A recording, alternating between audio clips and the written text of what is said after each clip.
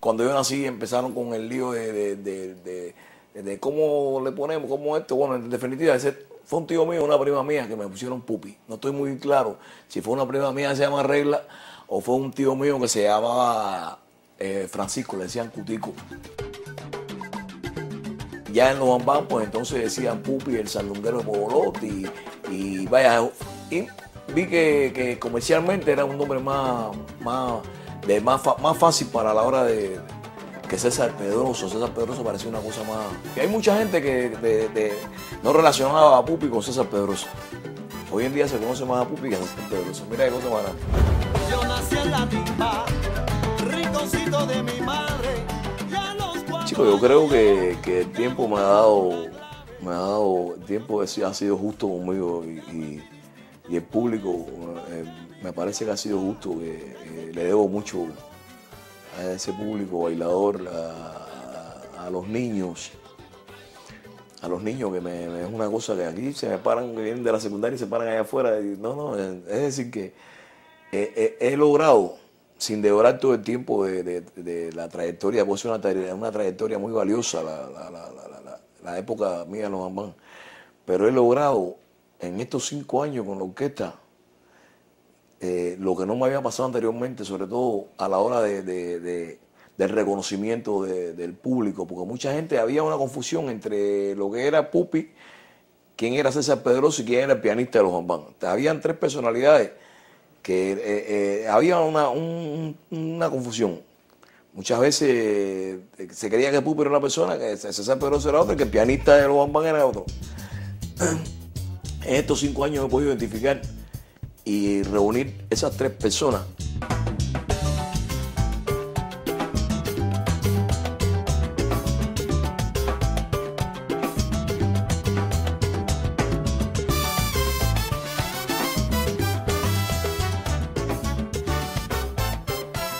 Me matricularon el Conservatorio Mayor Roldán.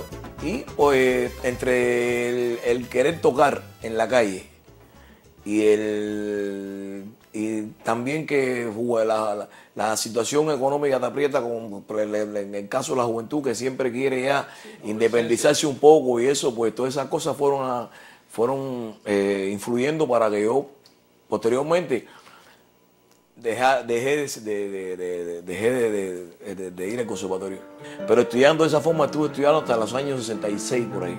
Yo tocaba e inclusive eh, yo daba clase con Ramiro Reyes y ya un poco más para acá, en los años 69, di clase con Chucho Guardé. Es decir, que di clase dos veces a la semana, iba allá a Amalia, a Santa Amalia, allá, y daba clase con, con Chucho.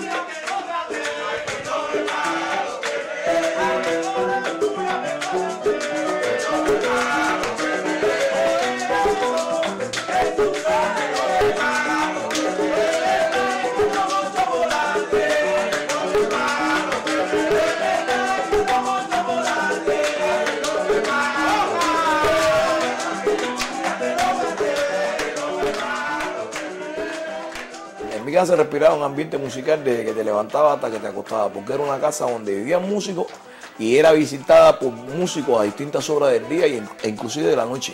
Ahí en mi casa yo conocía a Paulina Álvarez, a Cheo Marchetti, a Belardo Barroso, a Antonio Alcaño, a Jesús López, que después, posteriormente, me dio clase también de piano. Fue un pianista muy, muy famoso y muy bueno que tuvo la orquesta de Alcaño.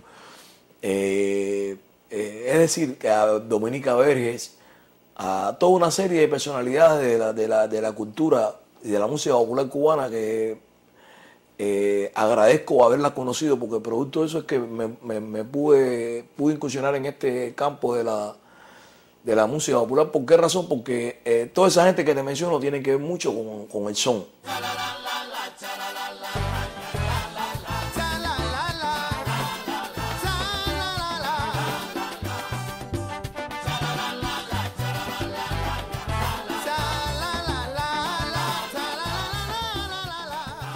Casi, todo, casi todos los temas míos son vivencias.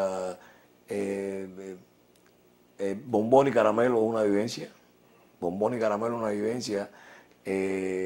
Buena Gente es otra vivencia, precisamente con Pedrito Campo que decía que sus manos estaban vacías de tanto dar sin tener, pero ¿qué voy a hacer si son las manos mías? Tengo las manos vacías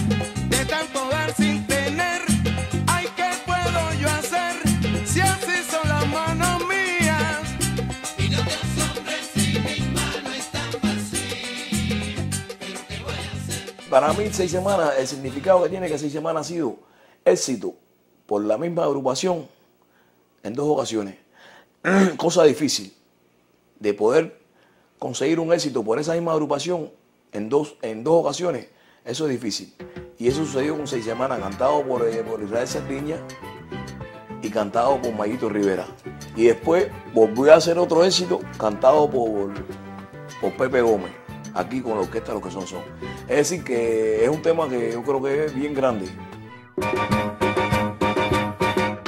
Amanece bella en la mañana.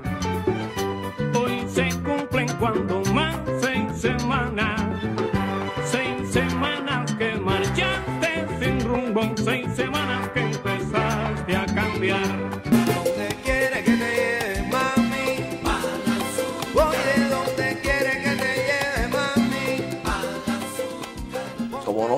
azúcar también fue otra historia. Azúcar estábamos trabajando en, el, local Azúcar de Cancún. Y íbamos a trabajar ahí por cuatro meses. Y luego él tenía un swing del diablo y entonces eh, se llenaba todos los días. Y entonces le dije a Fome, voy a hacer un número, pero lo hice como relleno. Como relleno, inclusive eh, Angelito Borne no cantaba y le di el número para que lo cantara. Angelito Borne tocaba el salso en la orquesta. Y le dije, mira, Angelito, eh, un número para que Pedrito y Mayito el Flaco, que eran los intérpretes en ese momento, para que cogieran un 10. Y entonces le di el tema a Angelito Borne. Y Angelito Borne después le adicionó las inspiraciones esas tan maravillosas y todas esas cosas. Y, y Angelito Borne hizo un hit de ese número. Aparte de que el número pueda tener sus cosas, pero él le puso mucho de. Y el número fue un trancazo. Pare.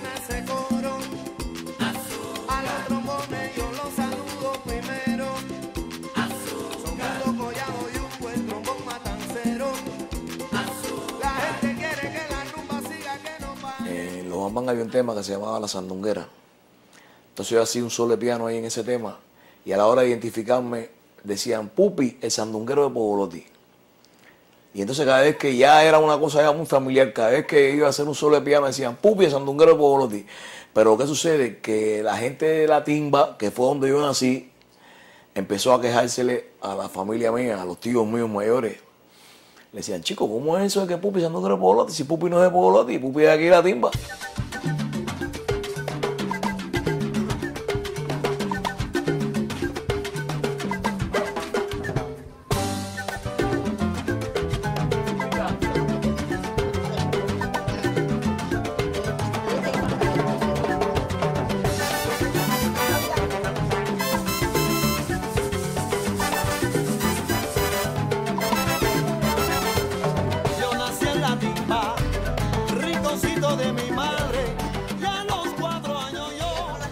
Criamos todos. Aquí nació él. Ajá, aquí. Aquí nos criamos todos, aquí es donde vivían todos los tíos míos, todos los primos míos, todo el mundo vivía aquí. Que vaya, nuevo, esto no era esto. Yo nací en, Po- en la timba, pero de muy pequeño, cuatro años, cinco años, a los seis años, por ahí, fui a vivir a Pogolotti. Realmente que todas las costumbres mías y todas mis cosas de, de- de crianza, mis amistades, toda la primaria, la secundaria, todo, todo, lo hice viviendo en Pogolotti. Entonces yo pues yo me creía que era más de Pogolotti que de la timba, pero bueno, para no tener, porque Pogolotti es, el- la timba es el, el- el barrio donde nació mi mamá y toda la familia mía, y tengo todavía familia en la timba, y tengo familia en Pogolotti. Y dije, bueno, para quedar bien con los dos, y de una manera de que te caiga un nivel de, reconocimiento entre ambas partes, dije, bueno, dice, yo nací en la timba, rinconcito de mi madre, y a los cuatro años ya jugaba con la clave, porque quiere que ya me empecé a relacionar en Pogolotti con la. Eh, Pogolotti después es un barrio rumbeo, un baile, un barrio de bailadores, un barrio donde estaban muchos músicos. Y eso me ayudó muchísimo también a la hora de mi formación. Esta es la casa que, que- que yo. Ya estaba nada, no había eso. Aquí fue donde yo me. Ese era el cuartico mío, ¿eh? Este era mi cuartico. Aquí, en este cuartico, era donde yo dormía, donde yo tenía aquí, mira, esto que está aquí. Aquí era donde yo compraba ropa, aquí, esto, esto que está aquí, aquí. Y esta es la, lo que me queda nuevo. Eso es un invento, esto ha sido como por re- coge pedazos por aquí, pedazos por allá. Inventando. Y este sí es un, un, yo tiene una historia del carajo. Y, y déjame decirte que, que, que se ha conservado, yo creo que una de las pocas cosas que queda vigente de esa época aquí. Porque coño, todo aquí ha volado con eso y el lenguaje. Esta es la, la, la tía mía que me crió. Bien, y yo estaba ahorita mismo hablando con él aquí, pero parece que Por no aquí. Y- aquí. Están los tíos míos. Aquí están los tíos míos. Mi abuela, mi abuelo, mi tío, el otro tío mío, mi papá, mi tía esta que está aquí y el otro tío mío. Aquí no tenía el piano. Aquí no tenía el piano, aquí yo todavía estudiaba. Aquí era estudiaba y aquí era donde. Todo aquí, del cuartico ese para aquí y aquí para el cuartico así, porque había días que había que. Y ahí enfrente había una, había una, una, en la época del Aragón, que el Aragón estaba muy sonando y entonces había una muchachita, había un cantante del Aragón que se llama Pepe Olmo, que está vivo todavía. Y Pepe Olmo era un mulato muy bonito y, tenía loca a todas las chiquitas de la juventud. Y a mí me gustaba cantar como Pepe Olmo. Y entonces tenía como 14 años, 13, 14 años, por ahí andaba yo. 13, 12 o 13 años. Yo cantaba como Pepe Olmo con esa edad. Pero entonces los domingos se reunían ahí enfrente. Mira. Vamos allá ahí, vamos allá ahí.